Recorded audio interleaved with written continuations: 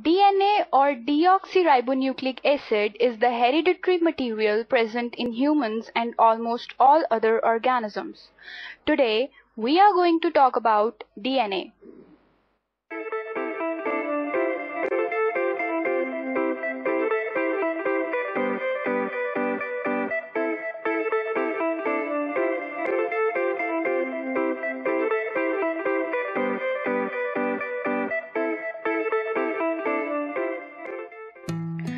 This is a double helix structure of a DNA molecule. Most of the DNA is located in the nucleus where it is called nuclear DNA. A small amount of DNA can also be found in the mitochondria where it is called mitochondrial DNA. In a bacterial cell, DNA freely floats in the cytoplasm. A DNA molecule contains the instructions in the form of codes which an organism needs to grow, live, and reproduce. These instructions are found in each and every cell except the red blood cells and are passed down from parents to their children. A parent and a child shares about 99.5% DNA. About 99% of DNA is similar in all humans. The remaining 1% is the difference in the bases which is enough to differentiate between two separate individuals.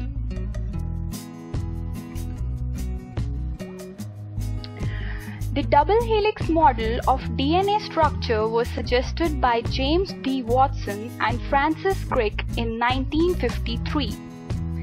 They received a Nobel Prize for this contribution.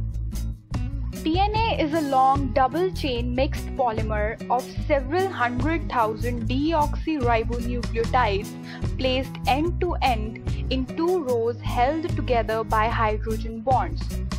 DNA has two unbranched complementary strands which are spirally coiled and these two spiral strands are collectively called double helix. Just like proteins having amino acids as their building blocks, DNA have nucleotides as their building blocks. Each nucleotide molecule has three parts. A nitrogenous base, a sugar molecule, and a phosphate molecule. First of all, we will discuss about the nitrogenous base.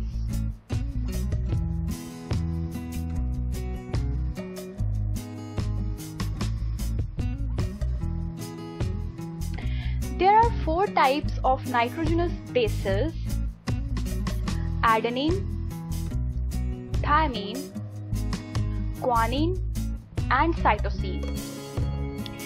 Adenine and guanine are purines. They both contain a 6-membered ring and a 5-membered ring, whereas thymine and cytosine are simpler molecules called pyrimidines. These DNA bases pair up to form base pairs. The adenine always pairs up with thymine and cytosine always pairs up with guanine. Similar to the way the order of letters in the alphabets can be used to form a word, the order of nitrogenous bases in a DNA sequence forms genes, which tells the cells the way to make proteins. The next part of a nucleotide is a sugar molecule.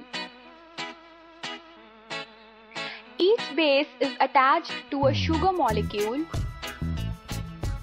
In DNA, it is called deoxyribose sugar, whereas in RNA molecule it is called oxyribose sugar. The third part is a phosphate group.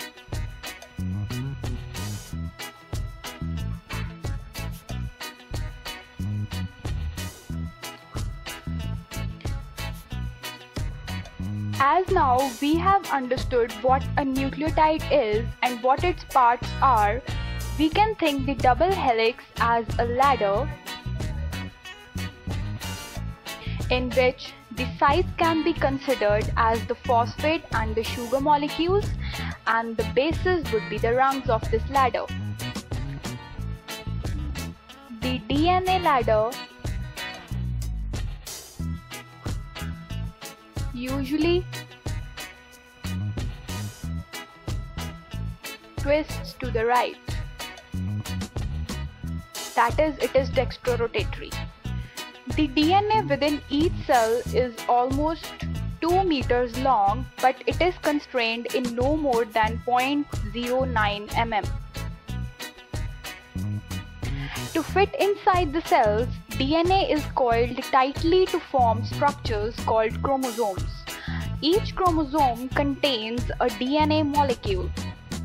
An interesting fact about DNA is that if the DNA in the entire human body is put end to end, it would reach to the sun and back over 600 times. Isn't it amazing? An important property of DNA is that it can replicate and make copies of itself. When cells divide, each new cell needs to have an exact copy of DNA present in the old cell. DNA can face mutations. Failure to repair DNA can lead to cancer or cell death. About 1 million times per cell per day DNA is damaged in the body, but the body has an elaborate and constantly active system to repair it. If you like this video, please subscribe and leave a comment for queries and suggestions.